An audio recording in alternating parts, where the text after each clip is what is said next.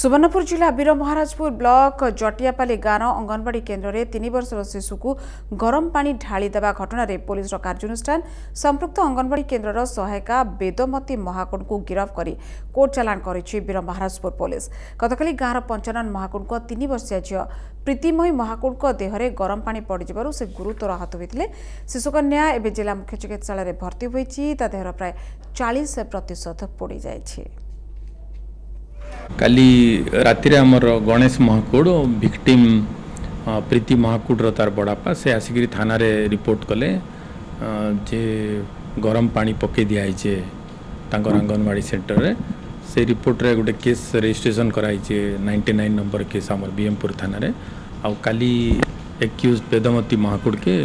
arrest କରିକି forward କରାହେଇଛି